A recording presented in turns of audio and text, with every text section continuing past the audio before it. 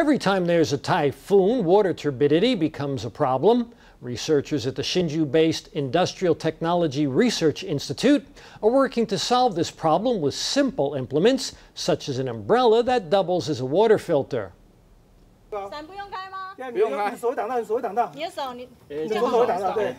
After yellowish water is poured into this umbrella, it passes through a filter and comes out clear and safe to drink. The umbrella contains ITRI's latest water filtration system.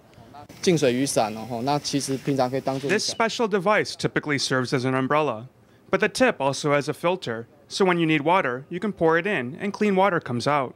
Another tool that works as a water cleaning device is this hiking pole. It comes equipped with a filter inside that can clean 1.5 to 3 liters of water each hour.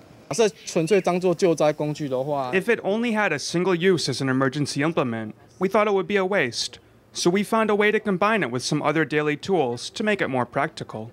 The filters were put to the test using water in the mountains after typhoons passed. Now that they have been combined with other common items, they're available to help people enjoy clean water everywhere.